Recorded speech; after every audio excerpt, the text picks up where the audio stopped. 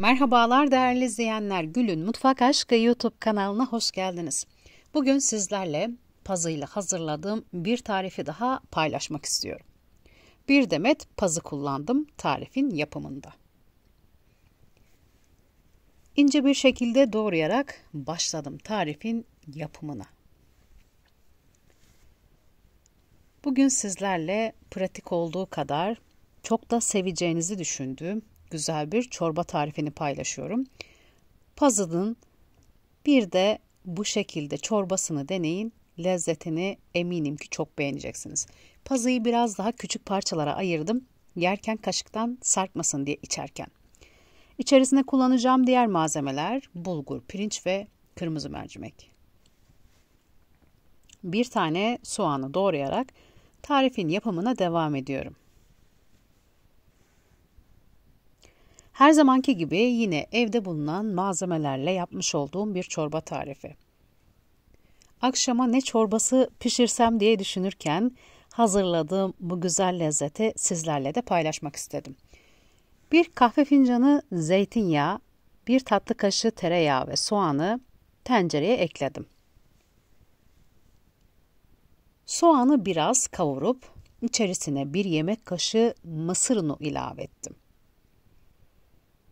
Bir dakika kadar mısır ununu soğanla soteledim.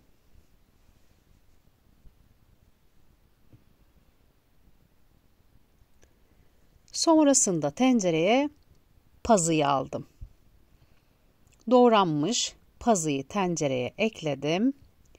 Üzerine bir yemek kaşığı bulgur, pirinç ve kırmızı mercimek ekledim. Hepsi birer yemek kaşığı. Tüm lezzetler iyice birbirine karışsın diye güzelce karıştırıyorum.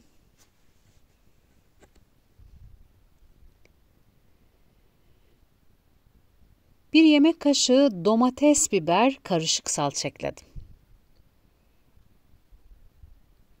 Salçayı da iyice karıştırıyorum.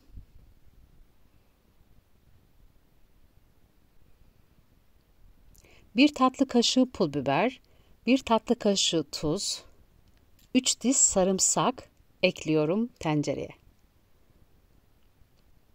Tuz miktarını ve pul biber miktarını damak tadınıza göre ayarlayabilirsiniz. Tuzsuz yiyenlere belki benim eklediğim miktar fazla gelebilir tuz olarak. Kontrol edin derim tuz eklerken. Et suyu, tavuk suyu da kullanabilirsiniz bu çorba içerisine. Ben normal içme suyu kullandım. 7 su bardağı içme suyunu ekledim. Çorba pişti. Ve görüyorsunuz kıvamını. Biraz dinlendireceğim sonra servise alacağım çorbayı. Çok da çabuk pişen pazı çorbasını gerçekten lezzetini seveceksiniz. Çok da severek içeceğinizi düşünüyorum. Görüntüsü biraz ıspanağa benziyor ama lezzet hiçbir şekilde ıspanakla aynı değil. Şimdiden hazırlamak isteyenlere afiyet olsun. Kanalıma abone olmayı, beğeniyorum yapmayı unutmayın lütfen. Değerli yorumlarınızı videonun altına bekliyorum. Sizlerin görüşleri benim için çok önemli. Başka pratik tariflerde tekrar görüşmek üzere. Hepinize sevgiler sunuyorum.